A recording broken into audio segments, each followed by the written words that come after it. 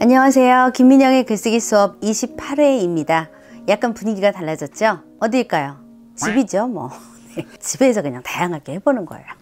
여러분 지루할까봐. 김민영의 글쓰기 수업 세상 재밌죠? 그리고 이렇게 재밌고 유익하기가 쉽지가 않아요. 어, 유튜브에서. 그러니까 여러분이 널리 널리 알리셔야 돼요. 전파를 하셔서 이렇게 유익한 게 있다. 아이들하고 같이 보셔도 좋을 것 같아.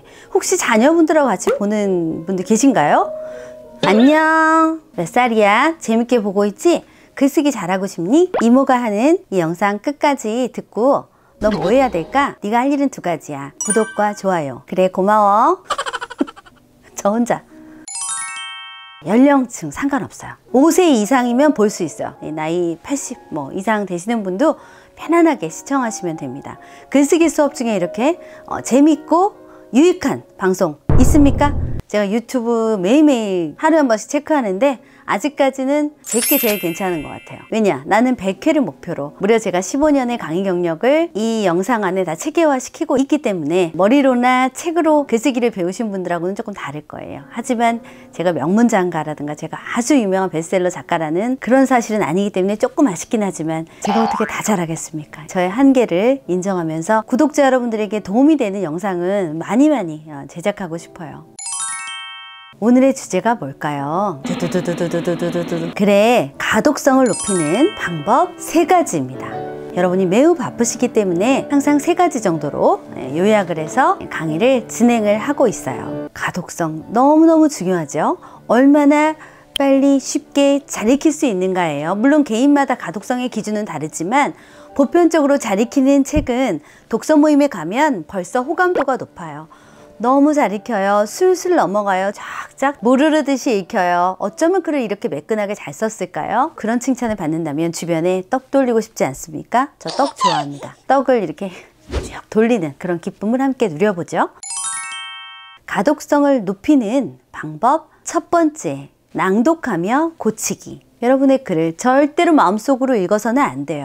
눈으로 보거나 마음속으로 그것을 곱씹는다고 하더라도 그만큼의 목소리를 내서 직접 낭독을 문장마다 끊어서 하는 이런 가독성의 퇴고하고는 정말 품질이 달라져요. 아무리 바쁘더라도 여러분들이 시간을 약간 내서 자기 글을 소리내서 문장마다 끊어서 읽어보세요. 굉장히 귀찮고 번거롭지만 그 과정을 하신다면 부자연스럽고 동어 반복이 심하고 앞뒤가 끊어지고 너무 군더더기가 많은 이런 문장들을 다듬어낼 수가 있어요. 그러면 어때요? 가독성이 많이 좋아지겠죠. 두 번째 비결입니다. 조금 전에 약간 힌트를 드렸는데요.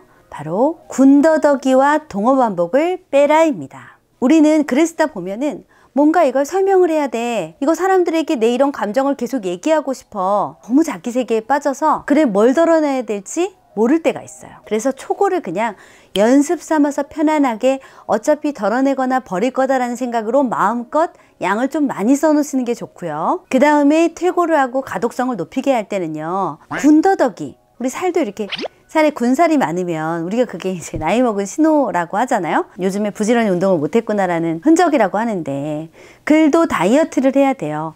핵심을 간결하게 만들어야 되기 때문에 군살이 붙은 것 같은 군더더기 같은 그런 표현들은 예, 줄이거나 삭제하거나 겹치는 것도 여러분들이 직접 다듬어 내셔야 돼요.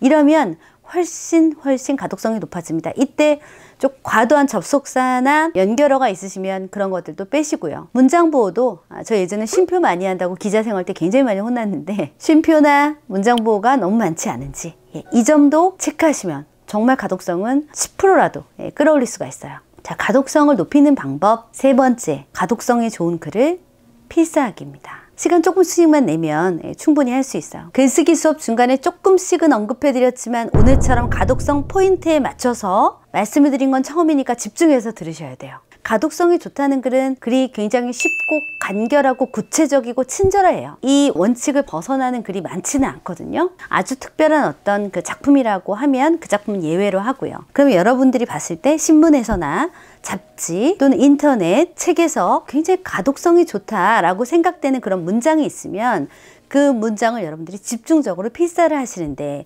이때 작가가 주어와 서술어를 어떻게 다뤘는지, 형용사와 부사를 어떤 방식으로 배치했는지, 문장 부호와 문맥을 어떻게 가다듬어 가고 있는지를 꼼꼼하게 보면서 필사를 해야 됩니다.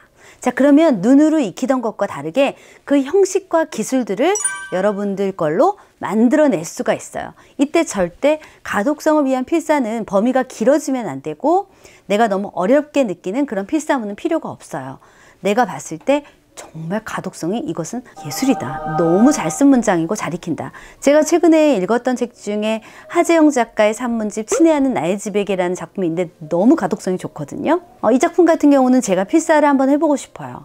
당연히 제가 아주 중요하게 생각하는 그 지점들이 있어요. 그 지점들을 중심으로 예, 필사를 해보면 제 문장력 연습에도 어, 상당히 도움이 되죠. 훌륭한 문장들, 예, 굉장히 가독성이 좋은 문장들을 우리는 만들고 싶지만 그게 눈으로 익힌다고 해서 쉽게 되진 않아요.